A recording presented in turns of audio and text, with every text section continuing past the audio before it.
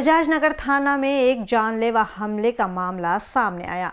इस मामले में एक दोस्त ने ही पुरानी रंजिश के चलते अपने दोस्त पर जानलेवा हमला करने का मामला सामने आया है। प्राप्त जानकारी के अनुसार आरोपी वर्ढी ने पहले जख्मी सागर नागले के घर जाकर उसके माँ से पैसों की मांग की। मगर सागर के माँ ने मना कर दिया, फिर आरोपी ने कुछ बहाने से सागर को बजाज नगर थाने के एक वीरान जगह पर ले गया।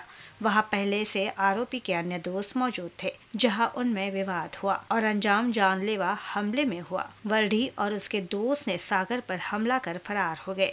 इसे जख्मी हालत में सागर बजाज नगर थाना पहुँचा। उसकी हालत देख पुलिस ने सागर को पहले अस्पताल दाखिल कर आरोपी की तलाश कर रही है। आज दिनांक चौदा रोजी पावणे एक वाजताच्या सुमारास आमच्या पोलीस स्टेशनच्या समोर एक जखमी अवस्थेत एक इसम आला. सदर इसम हा गंभीर अवस्थेत जखमी असल्यामुळे आमच्या पोलीस स्टेशनच्या प्रायव्हेट वाहनाने त्यांना ऑर्निसिटी हॉस्पिटल या ठिकाणी नेण्यात आलं. त्यांना त्याच्यावर दवा उपचार सुरू आहेत.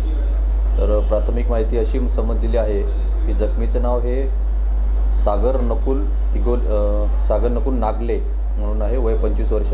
आणि सुदामनगर अंबाझरी या ठिकाणी राहणारे आहेत. आणि आमच्या इकडे हिमालय डेव्हलपर्स प्लॉट नंबर पाच सहा R P T S road या ठिकाणी काही वादावरून त्यांना दोन ते तीन इस्मांनी मारहाण केल्याची प्राथमिक माहिती मिळालेली आहे.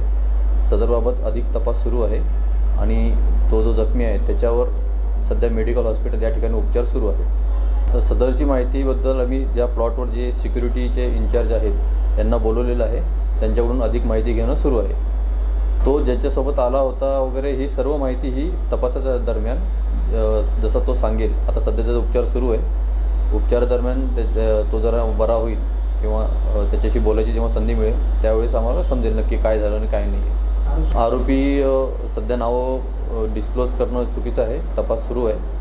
आरोपी जेव्हा अ, आरोपीबद्दल माहिती मिळालेली आहे आरोपी अजून अटक नाही सूत्रों की माने तो कुछ दिन पहले अंबाजरी थाना क्षेत्र में एक हत्या का मामला सामने आया था। इसी मामले में सागर गवाहीदार था। तो आशंका ये जताई जा रही है कि हमला इसी मामले के चलते हुआ हो।